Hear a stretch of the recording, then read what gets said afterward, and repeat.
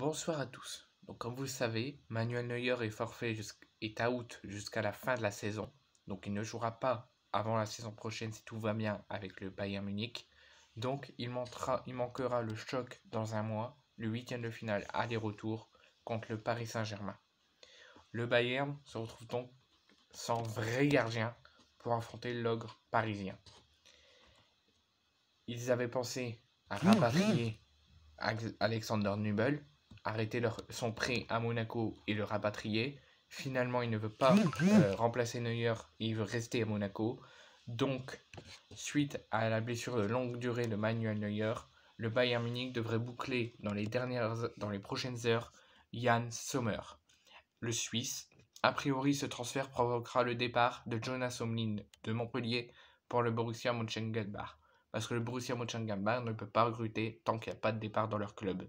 Et si Sommer rejoint le Bayern Munich, Omlin pourra alors rejoindre le Borussia Mönchengladbach et Sommer le Bayern Munich. Il, ne resterait plus que quelques détails à régler pour que Jan Sommer soit titulaire au Bayern Munich face au Paris Saint-Germain en huitième de finale de Ligue des Champions. Donc pour ceux qui ne le savent pas, l'aller se tiendra le 14 février et le retour le 8 mars.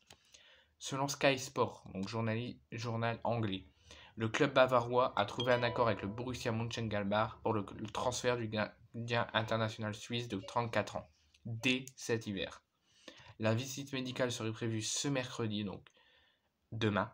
Montant de l'indemnité 9,5 millions d'euros, avec bonus compris de 1,5 million d'euros. Donc en gros, 10,5 millions d'euros sans transfert. Le recrutement de Yann Sommer sert à pallier la blessure de Manuel Neuer qui s'est fracturé une jambe début décembre en faisant du ski le capitaine de 36 ans forfait pour le reste de la saison pourrait bien être indisponible au-delà de cet été, ce qui a poussé les dirigeants munichois à désavouer Sven Ulreich, le gardien numéro 2. L'accord pour Jan Sommer a été manifestement rendu possible par la solution de secours trouvée par le Borussia Mönchengladbach qui s'est tourné vers Montpellier pour s'attacher les services de Jonas Omlin.